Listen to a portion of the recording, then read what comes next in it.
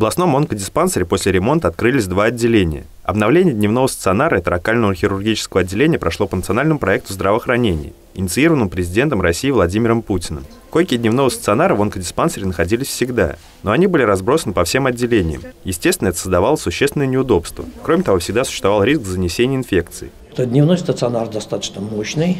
Значит, здесь будет э, значит, э, ежедневно проходить лечение около 80 человек. Больше, меньше, но вот средняя цифра такая. Вот. И этот дневной стационар будет э, являться организационно-методическим центром для других дневных стационаров по профилю онкологии, которых мы в этом году открыли. Открыли их мы шесть дневных стационаров в городе Ульяновске. Если дневной стационар только ждет своих первых пациентов, то в торакальном хирургическом отделении они уже успешно лечатся. Кстати, к его оформлению привлекли ведущих ульяновских дизайнеров, чтобы, как говорится, даже стены помогали лечиться. Ну, сейчас все культурно, хорошо, чисто, аккуратно.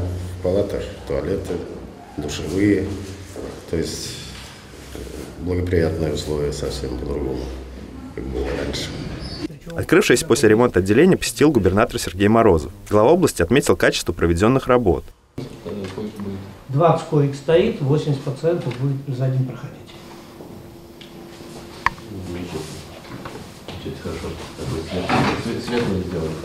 Проект по улучшению онкологической помощи входит в состав нацпроекта здравоохранения. Кроме проведения ремонтных работ, реализуется еще несколько направлений.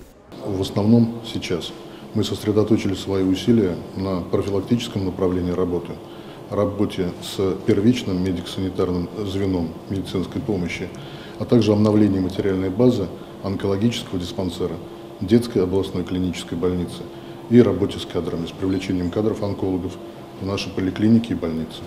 А в онкоцентре предстоит еще много работы. В корпусе, где открылся дневной стационар, необходимо отремонтировать еще два этажа. Обновить нужно фасад первого хирургического корпуса. Окончательный ремонт диспансера предполагается завершить через два года. Егор Титов, Юрий Конихин, новости Улправда ТВ.